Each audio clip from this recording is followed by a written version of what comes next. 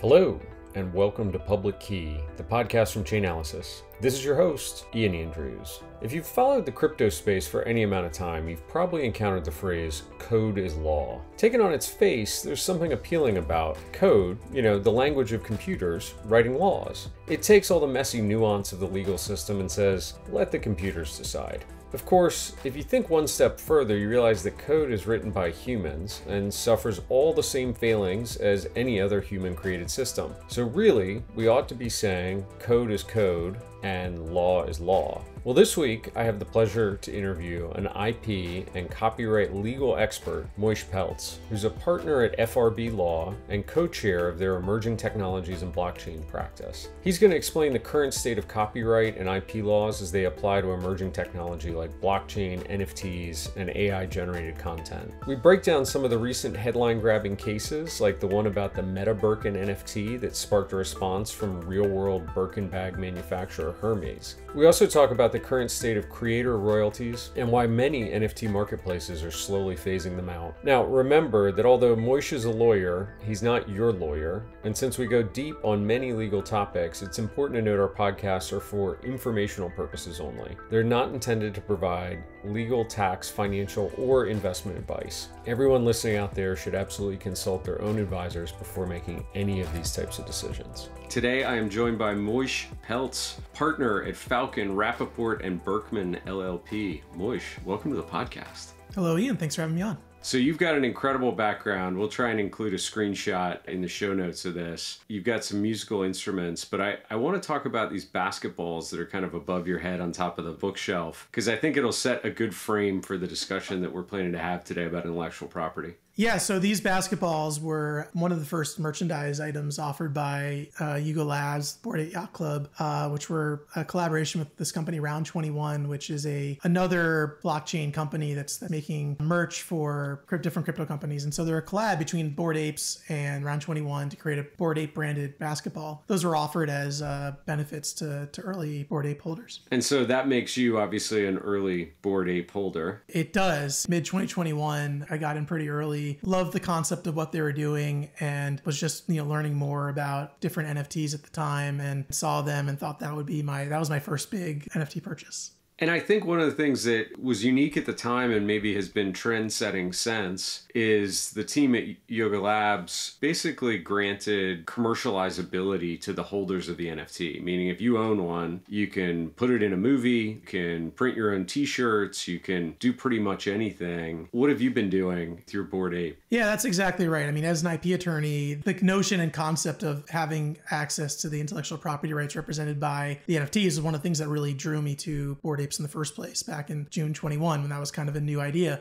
And so, as I notice a lot of my clients getting into that space and trying to commercialize the IP rights represented by their NFTs, you know, I, I, started thinking, well, what can I do with my NFT? And so, certainly, I've used it in the context of business generation, of just it being my PFP, my persona on Twitter, other social media places, and then created business cards uh, using it for my legal services. Even filed a trademark on behalf of our law firm for using it for legal services. And so, just as my clients experiment and we kind of help them think through and strategize about the legal concepts that come up with using the IP rights represented by the NFTs, me as an attorney and us as a law firm are, are, are doing that same thing it's funny because my advice to anybody who comes to me and says hey i'm new to crypto. I don't i don't know anything. Where should i start? My advice often to them is take a small amount of money. Whatever you don't mind losing. Could be $5 $10 $100 go buy some crypto. Probably start on a centralized exchange. Then you need to get a wallet like a metamask. Go connect it to a defi protocol. Swap whatever you bought into something else. Like you know just go experience it and learn how the tools work. And you've kind of taken this to the next level level with uh, with your practice here at the law firm. It's amazing. I, I love that you're that far into crypto. You're not just advising from a distance. Yeah, that's exactly right. I, I, agree with you. The only way to really learn these concepts in, in a really like deep way is not to read about them. It, you have to experiment. You have to play with them. You have to engage with the technology. You have to see what's coming down the pipeline. And, and from my perspective, right, in order to properly advise clients, like here's this new thing that's coming down. How do you think about it from a legal perspective? How do you contract for it? How do you uh, mitigate risk? You have to understand it. You have to understand where things can go wrong. And so I completely agree with what you said. The only way to really understand it and the best way for people to learn is to, to experiment and play with it and buy a little bit and an amount that you're okay losing and, and just go out there and, and see what happens.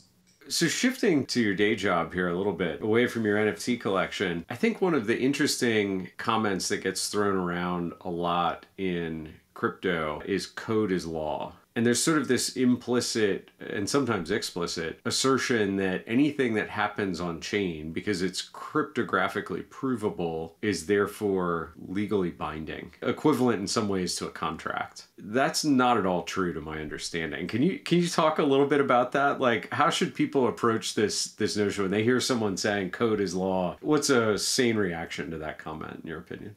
Yeah, it is an, alluring comment. I do sympathize with it, both as a user of these systems and and representing clients. Is well, the technology provides for ownership and transfer of ownership and ownership of digital assets, and the technology kind of is the land deed, the representation of ownership. So that's that is law. That is the final answer. And I think as we've learned over the past couple years, that possession, while very valuable and perhaps determinative in some circumstances, is not always consistent with the legal title and the right to own something, the right to commercialize something, to to do something else with it. And so you're seeing a lot this this come up a lot in what is effectively now ownership disputes, generally governed by traditional legal principles. And courts are in fact engaging on these issues. People are losing crypto through exploits and, and then suing the exploiter, things like that nature, right? And so a court is then has to come in and decide, even though someone, according to the blockchain, has ownership, who is the party that that should properly have ownership? Is that different than what the blockchain provides? And then ultimately, how do you go about enforcing that?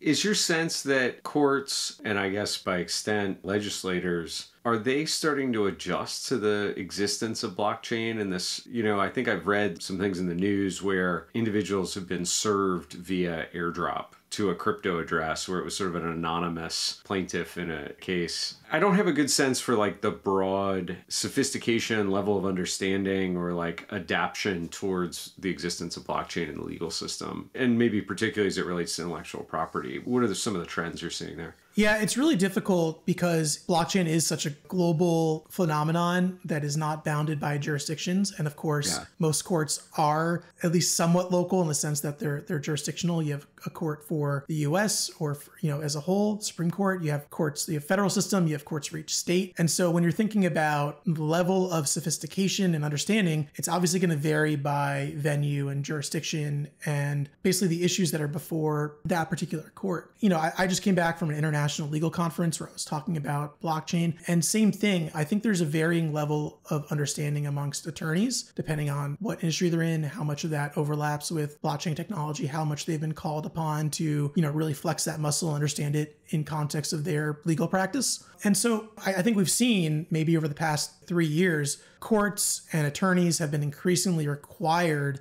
as part of their day-to-day jobs to understand these technologies, to pull them apart and to you know, either advise clients in the context of an attorney or as a judge like to understand the principles and, and make a determination on some issue relevant to the issues presented by by blockchain. And i'd say this probably a, a, rocky start over the past few years right? I think there's cases where courts are getting that right and are understanding the technology. I think there's cases where you know more understanding would probably be beneficial both to the blockchain industry but then also to courts to regulators to other participants in the ecosystem. I saw one of the recent cases you, you had posted about it actually on your LinkedIn was, I believe, a trademark infringement that Hermes filed against someone that had created an NFT project that was kind of derivative of the Hermes brand. Can you maybe overview that for us? And then, like, did the court get it right? Did they understand the issues? Like, how did that all play out? Yeah, the Hermes one is is really interesting court decision, and that was a case where Hermes, this like historic French fashion house has this famous Birkin bag, and then these these bags are like tens of thousands of dollars. And this guy Mason Rothschild is this artist says, "I'm creating a meta Birkin bag, which is this fuzzy NFT version of it that he sold a couple hundred NFTs that were digital meta Birkin bags for the metaverse." And Hermes filed a, a federal district court action in asserting their their trademark rights, and particular asserting that they're this famous brand. So there's kind of like superpowers that come with being famous. And so they were asserting these powers. They were also asserted anti-counterfeiting domain name type action by the metabirkins.com domain name. And this case went to a jury. So right, so a jury sat down and heard the arguments. One of the necessary elements was that they decided in one of the counts was that this individual was acting in bad faith. So I, I think this is a, a unique case where there was actually a finding of bad faith and that kind of colored everything that happened here. So the judge actually didn't decide. He decided that the case would go to the jury, but he didn't decide on the merits whether there was or was not bad faith. The jury did. And so you think about all that had to go into the legal teams from this fashion house and uh, the defense team for this artist, understanding him creating a fake NFT version of a Birkin handbag and marketing it and all things that go along with that. So the court, the attorneys, the jury had to kind of get up on the level with all this to understand what was happening. I think this is a case that probably was decided correctly. It will obviously be appealed. It'll be interesting to see how an appellate court grapples with these issues, if, if anything changes on appeal. But this is what we have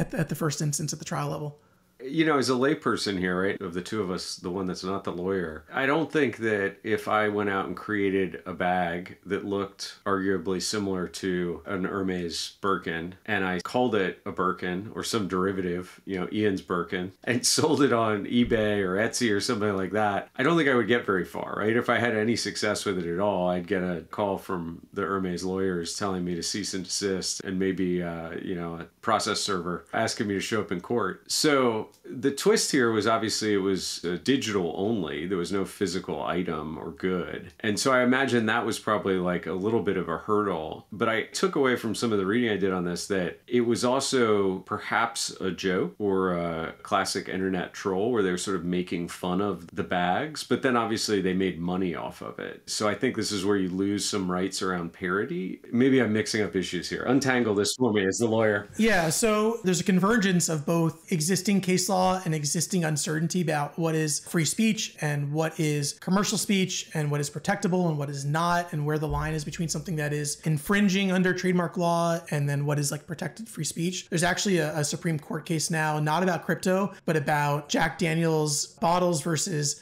chewable dog toys. It's the same question, right? Like what what is a commercial product and what is a parody? The Supreme Court is probably going to issue a decision on that in the next month. So that's like not doing crypto. Like there's just uncertainty in the law about like where is that line, right? And then you throw on this crypto layer of, well, no, it's really a bag for the metaverse. It's not for the real, like no one's going to carry around this bag because it's just an NFT. But then that ties into like a real world issue, which every mega brand in the world right now is thinking about. Well, are my trademarks for my physical products, like, are those sufficient? Or do I need to now like start a new campaign of trademark applications to protect my items in the metaverse as only digital items? And, and obviously our world is becoming more digital. So, you know, how much of my physical stuff is going to be confusing with things that may or may not be digital? And if Ian goes goes and creates something in the metaverse that's potentially competing with my physical item, where is that line? So there's a lot of uncertainty that is caused by this that isn't just related to blockchain, but then when yeah. you throw in the blockchain and just I think the general confusion it brings up in like ordinary people, it certainly can create like I think weird outcomes or unexpected outcomes or just ambiguity in what the outcome should be.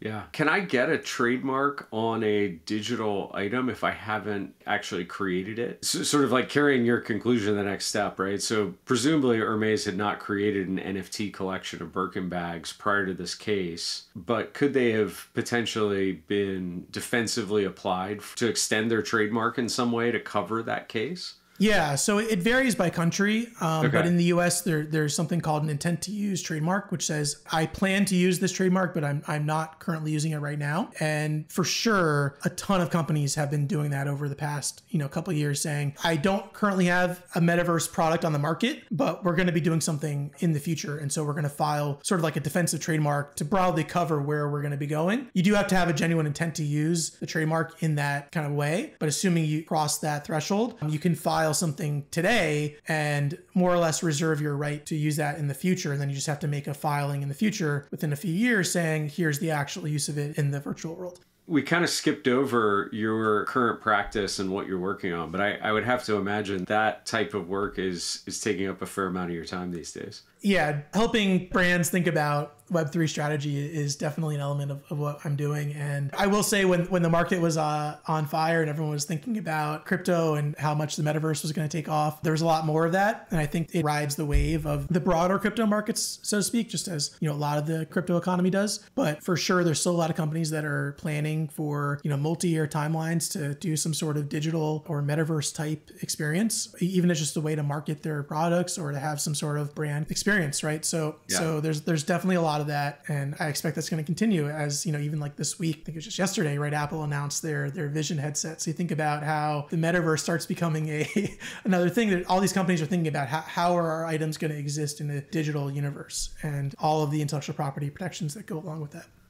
The Apple announcement, by the way, if people haven't seen it, go watch the keynote. It's on apple.com. One of the amazing features is that when you op- unbox one of these things, you turn the device around to your face and it scans your face and creates a lifelike avatar so that then when you're in a FaceTime call, particularly if you're in a FaceTime call with another person wearing one of these headsets, you both have this 3D avatar that is lifelike. But you could pretty quickly then imagine, like, well, instead of it looking like me, I want it to have blue hair and I want Spock ears and Dracula teeth or something crazy like that. And then you're not really very far away from where we were a year ago talking about going from NFTs that were PFPs to then, you know, avatars re- realized in a metaverse. I was blown away by the announcement yesterday. I don't know if you. I, I was also very, very impressed. I have an Oculus and, and uh, I've experimented with it. And a lot of the things that I find frustrating with using it, even as much as I think it is like a really great device, seem to be things that that Apple is trying to solve. So, you know, I know it's not coming out till early next year, but I'm really excited to see how that technology develops and, and not not just Apple, right? The whole ecosystem of AR and VR and, and tying that back into blockchain and metaverse type uses.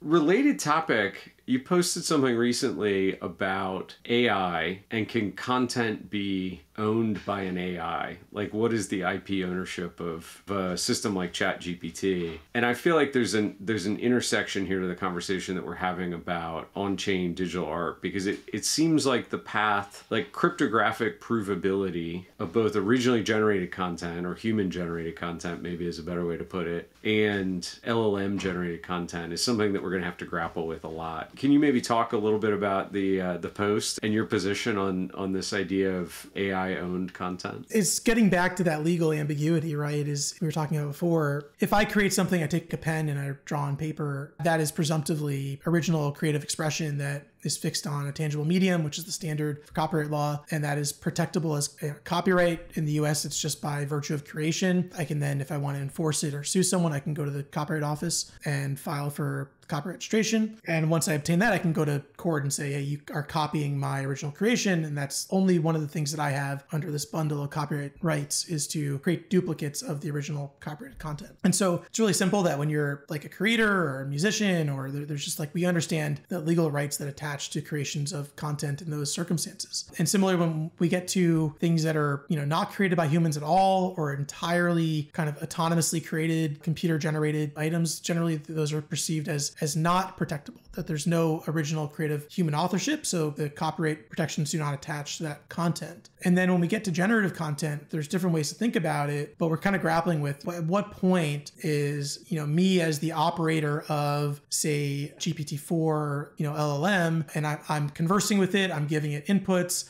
I'm taking that feedback. I'm either merging different parts of it together or continuously giving it feedback to generate the output that I'm trying to achieve. At what point is that human creation and the language model is really just a tool that I'm using to create something original, but that is directed by a human? Or is this just something that is more on that like non human, autonomously created side of things that there should not be protection for? And so I think the Copyright Office has started issuing guidance. There's been a few different people that have, through more like adversarial litigation type activities, been trying to get some more clarity on where those lines are. But right now, we don't have a lot of great answers as to exactly where that line is. There's an artist, uh, Kris Kashtanova, that created this this comic book, Zarya of the Dawn. Uh, they used uh, Midjourney to generate this comic book, and they wrote the text and fixed the image. And the whole thing is, it's Kris compiled it all together, but it was through kind of Midjourney prompt and so forth, right? So the compilation, I think the, the Copyright Office said is protectable, but each individual image may or may not be. So exactly where that's that's, that's currently being appealed, I believe, exactly how that falls out, and there's a lot of other uh, instances. And so I also I, I submitted a copyright application for my blog article that I did on the website. Same thing, just to experiment and see kind of where that line is for for law firm created content, right? Because if I use ChatGPT to generate content, and I'm a content marketer, you know, I, you know, I think same for you, same for I'm sure lot of uh, organizations out there listening. Like, you know, if I just use ChatGPT to create content, is that protectable? Do I have copyright in that? If someone knocks it off, do I have any leg to stand on to say, hey, knock it off? Or is it all just kind of a public good that now we have these language models that are just generating content that no one really owns. And I think as a society, like, right, getting back to like, what is the purpose of copyright law? Why are we even thinking about this at all? I think there's like questions that we need to grapple with as a society. It's like what we want to protect and why and what we're encouraging and kind of like a, a law and economics thing, right? Like, what are the incentives we're creating by giving people copyright registrations or not? I think it must, on some practical level, which almost certainly doesn't intersect with the legal opinions on this one, but like on a practical level, it probably depends a lot if you view the AI as being a tool used by humans, like an augmentation, or sentient, or trending towards sentient. Because on one level, I could argue in the case of like the comic book created image, well, you could have done that with Photoshop or something, Adobe Illustrator or something else in the Adobe tool suite and arrived at a similar outcome. And in this case, the artist knew what they wanted and they were able to get to it quicker or more refined, less work or whatever it may have been. So, better tool, but you still get the same outcome. It's driven by the artist. On the other hand, you could say, well, no, the person writing the prompt was merely like prodding this sentient thing to produce content. They were like a benefactor rather than the original artist and commissioning an image. And that, I think, just throws the whole world of copyright upside down, I would have to imagine, right? I think it's a problem that the existing laws can try and solve, but exactly where that line is of what is something that is created by the human or prodded versus what is not really hasn't been decided in this context. And so it will be interesting to see courts are already grappling with this and, and trying to figure out how to set up that issue and how to decide. You know, even like Microsoft Word, right, is just a blank canvas. It's a technology tool that I use. Like, how does that compare to now Photoshop is allowing you to like draw a circle on a an image and just click like generate something new. Like you can prompt within Photoshop. So even if you're using yeah. Photoshop, you can be using the technology in different ways. Yeah. And the different ways you're using it for perhaps different outcomes. Do we have to then like sit there and divide through how the technology is used in different ways in order to determine whether and how copyright law attaches to your creation? I don't know if you represent anyone in the TV movie industry, but obviously they're having a, the writers are striking right now. And one of the big issues is on this idea of can studios use something like ChatGPT to author a script? And what does that mean for the compensation for the human writers, right? Is a big open question. Yeah, that's right. I agree with that, right? So if you're a studio executive, you're like, well, we don't need the writers. Let's just make the content ourselves. Even if the t- technology allows you to create human replacing content, you got to take a step back and think, what are these companies companies doing. These companies are in the business of generating content, which is then typically they're licensed or, or owned by the studio. Then the, the studio is going to go monetize that. And the reason they're able to monetize that and exclusively license it to Netflix for hundreds of millions of dollars is because they own the copyright in that. So their their whole business model is we generate content, we own the rights to it. No one else can exploit it except for us. And so then we're going to sell that to someone else and they're going to pay us to exploit the content. So if now you no longer have exclusive ownership and exclusive rights over the created content because it's created by an automated machine and not a human, and the Copyright Office says, no, we won't give grant you rights to exclusive rights of copyright to that, how does that impact really the whole content creation business model? Not just for content marketing, but for exactly what you're saying in the entertainment industry. I think these legal questions feed directly into like how do these language models upend like the traditional notions of economic activity and like generating revenue as a content business. And I think coming back to where we started the discussion with NFTs and blockchain, it seems like we're going to uh, find ourselves quickly in a world where the creation of new medium to high quality content is largely free and instantaneous right? Like language models proliferate any you know many people become capable at driving them and we can create image and soon video and obviously we're starting to see voice synthesis so you get in this world where it's like very easy to build a deep fake the apple vision demo we got real life looking avatars that we now we can plumb via text in voice synthesis behind them. It seems like it becomes very difficult to distinguish in the world what is real or created by someone that you trust and like or interested in their content versus a, a cheap knockoff. The Meta Birkin or, you know, a disinformation deep fake. But it does feel like there is potentially a solution here in the universe of NFTs. Like I, a lot of people who I hear advocating for crypto, blockchain broadly, and NFTs specifically talk about this concept of digital scarcity, where the internet, it's always been easy to copy any object infinitely at no cost in the digital realm. And suddenly this adds a layer where it's not so trivial to do that. And suddenly we can have like accumulating value. Do you see these things like converging in some interesting way, or am I just drawing two big circles around the things I'm interested in and saying, oh, yeah, it's all coming together? No, there's there's definitely two big circles, and and sometimes they intersect. I think people think they intersect more than they actually do, but I think yeah. you're definitely onto something. That the intersection of these two circles is definitely how does blockchain give us a tool to provide digital scarcity and to prove authenticity and to prove the source of you know authentic goods or services or personalities. And so I I think there's a role there. I don't know that it's really been solved yet, and certainly not at scale. But I think for sure when you think about something like art blocks is an example of we have the randomized seed applied to the model to generate the art and it's fixed on the blockchain at the moment of minting of its creation and you know that that token always represents that authentic generative piece of art based upon kind of the, the history of that nft well, that's a perfect example of how this can be used in the art market for natively generative art. And for digital assets i can kind of project forth how that can work for other digital assets but then how do, how do we then translate that to, to real world physical assets and prove authenticity in that context We've talked a lot about art so far. I keep looking at the guitars, and is it a saxophone that's just over your shoulder? Tenor saxophone, yeah. And looking at your CV, like you started actually your career working in the music industry. And so I'm curious how some of the music projects that were launched as NFTs worked out. I think Kings of Leon put out a whole album that was an NFT. I know a couple other artists had a premium, almost like the box set of back in the day when people still sold CDs via NFT that delivered delivered some royalty back to them. How has that progressed? Are people still still looking at doing that with NFTs, or have they backed off that recently?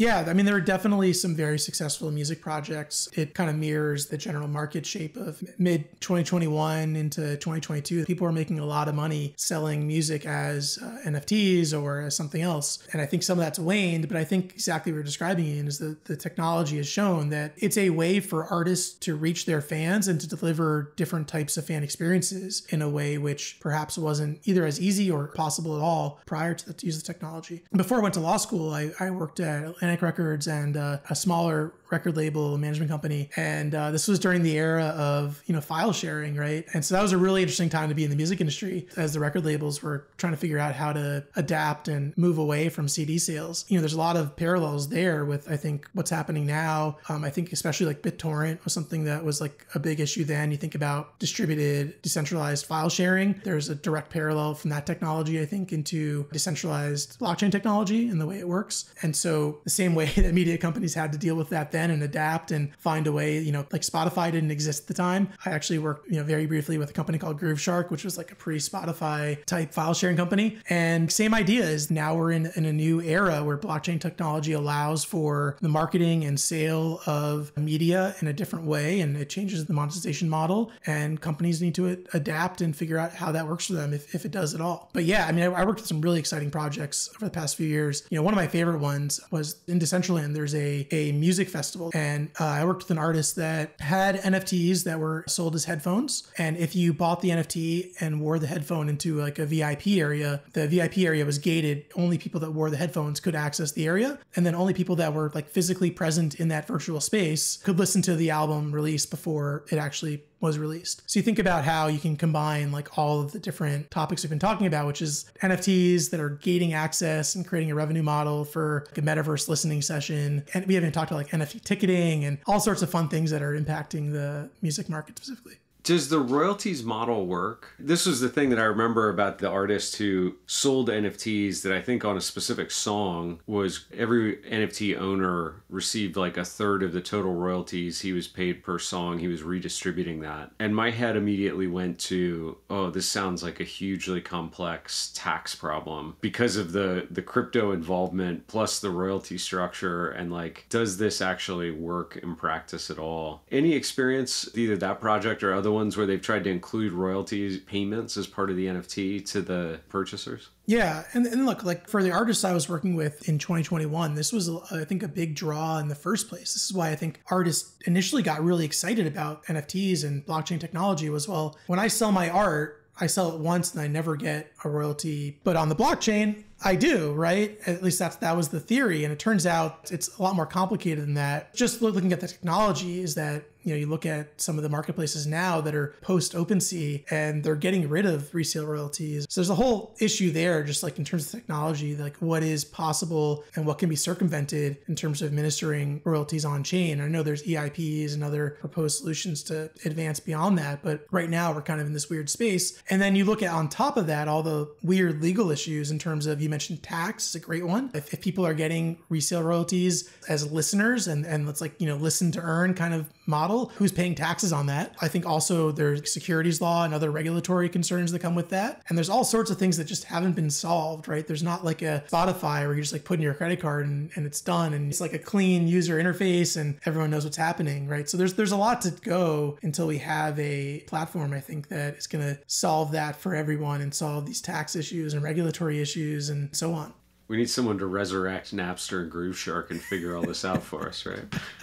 maybe a DAO can buy their their IP from someone. Exactly. As we wind down the podcast, this has been an awesome conversation, but I'm curious as you're looking out over the remainder of the year into next year, like where do you see, you know, some of the legal precedent? Are there any big cases out there that you're keeping an eye on that we, we should be watching as well? There's the Meta Birkins case, there's the Yuga Labs Ryder Ripps case, uh, a few other ones. I'm tracking all of them. From the IP perspective, those are of course, you know, really interesting. Obviously, the securities laws and other regulatory cases like Ripple and and now over the past week, you know, Binance and Coinbase. Those I think are going to be probably more important in a macro perspective. But me as the IP attorney, I get to focus on the on the cases that I think are more fun. I think it's going to be interesting to see. Yeah, there's some of these headline cases. I think even the Meta Birkins one's a really good example. But that's a case that came out for this big famous brand and how how can like regular business people like what lessons can they take home from there um, so i think it, as you see kind of these decisions kind of being made and then trickling down to the broader ecosystem i think that's what's going to be interesting and, and kind of how the attorneys in the space adapt to that and how the businesses kind of adapt and overcome some of these challenges that they're seeing both from a technological perspective and from a legal perspective awesome Moish, how can people follow along with your exploration you're a pretty uh, good